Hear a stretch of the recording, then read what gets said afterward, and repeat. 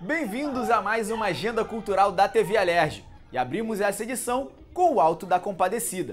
Um dos maiores sucessos da dramaturgia brasileira, a peça promete surpreender com uma releitura do clássico de Ariano Suassuna.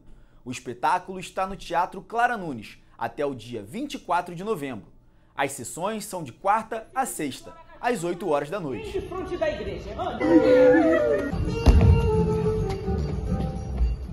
O Sesc Copacabana recebe o espetáculo Praticante do Amor, cujo nome não se ousava dizer. A peça reflete sobre os lugares de existência de figuras socialmente marginalizadas, a partir de técnicas de circo, como trapézio e acrobacias. A temporada vai do dia 17 de novembro ao dia 10 de dezembro, de quinta a domingo, às 8 horas da noite. No dia 9 de dezembro, vão ter sessões às 5 horas da tarde e às 8 horas da noite. O ator Luiz Machado está em cena com seu novo monólogo, As Artimanhas de Molière. A comédia mescla quatro peças do autor francês Molière, do dia 10 de novembro ao dia 3 de dezembro, na Casa de Cultura Laura Alvim, às sextas e sábados, às 7 horas da noite, e aos domingos, às 6 horas da tarde. da minha própria monarquia. É bastante fácil, mas requer habilidade.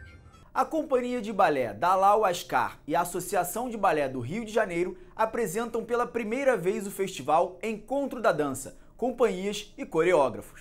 O festival mostra pluralidade e a energia da dança no Rio de Janeiro, nos dias 17 e 18 de novembro, sexta e sábado, às 8 horas da noite, e no dia 19 de novembro, domingo, às 5 horas da tarde. Júlio César, Vidas Paralelas, está em curtíssima temporada no Teatro Firjan Sese Centro. O espetáculo é criado a partir do clássico Júlio César, de William Shakespeare.